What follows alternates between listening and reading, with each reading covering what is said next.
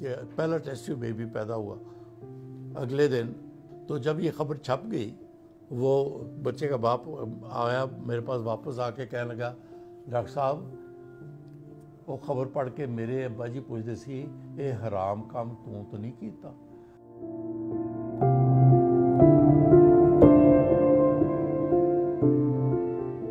दुनिया का पहला टेस्ट ट्यूब बेबी 79 में लुई ब्राउन उसका नाम है, वो इंग्लैंड में पैदा हुआ।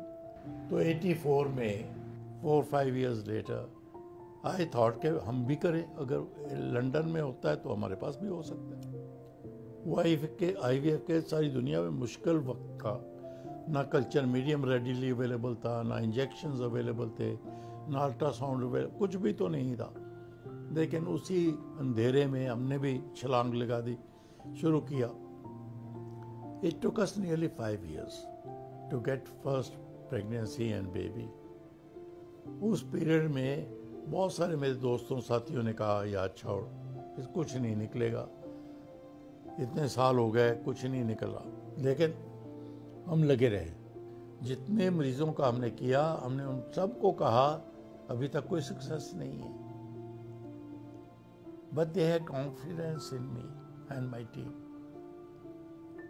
उनका, करो जी, बिस्मिल्लाह, फिर हम, हमारा हो जाएगा। इस तरह से वो हमारे पास पेशेंट्स आते गए। इस तरह से फिर पहला बच्चा पैदा हुआ। इट वॉज़ मेरा हाइट ऑफ़ एक्साइटमेंट रात के दो तीन बजे के करीब ही डिलीवरी हुई थी। तो हम सुबह पाँच छः बजे तक जागते रहे।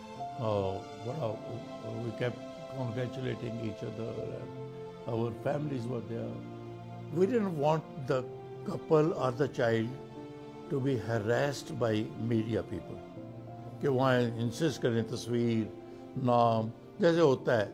वो तो इसलिए हमने एक ही सिटिंग में कहा कि चार पाँच बच्चे पैदा करते हैं, ताकि वो पाँचों को तो हरास नहीं करेंगे।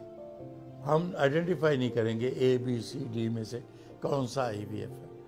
तो इसीलिए उन्होंने कभी भी अपने बच्चे को ये ना बताया कि वो आई वी एफ़ बेबी है।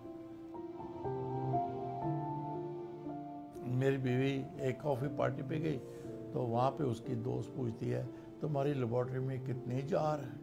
उन्होंने कहा जार? जार किस लिए? कि वो टेस्ट बेबी आखिर बड़ा होता होगा जार में ही बड़ा होता होगा।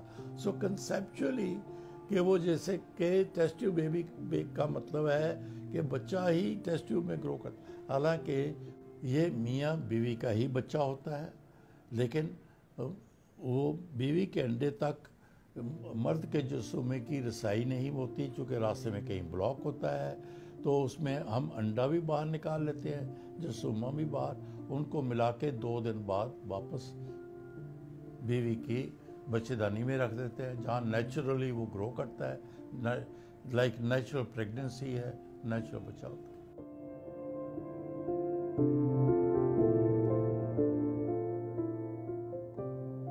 When we started off IVF की कॉस्ट टोटल पच्चीस हज़ार रुपए थी। आज कम से कम चार पाँच लाख रुपया है। अनफॉर्चुनेटली पाकिस्तान में nearly twenty percent couples are infertile maximum stress और blame is on the wife जैसे मैं अपने पेशेंट को करता हूँ, ऐसे करके। कोई आवाज़ आई कि नहीं, डॉक्टर साहब? अब आवाज़ आई कि हाँ डॉक्टर साहब। मैं कह इसी तरह प्रेगनेंसी होती है बाबा। एक अकेली औरत अकेला मर्द बच्चा नहीं पैदा कर सकता। ये तो दोनों हाथों से ताली बजती है, बल्कि बराबर नहीं, पहले मर्द की इन्वेस्टिगेशन होनी चाहिए, फिर औरत की होनी चाहिए, क्योंकि मर्द के टेस्ट बड़े आसान हैं सिंपल है, और कोई उसमें ऑपरेशन या कुछ नहीं इन्वॉल्व तकलीफ़ नहीं इन्वॉल्व कॉस्ट भी मिनिमल है। वाइफ के टेस्टों में कॉस्ट भी है तो वो इन्वेजिव टेस्ट हैं, तकलीफ़ भी है, और वक्त भी लगता है।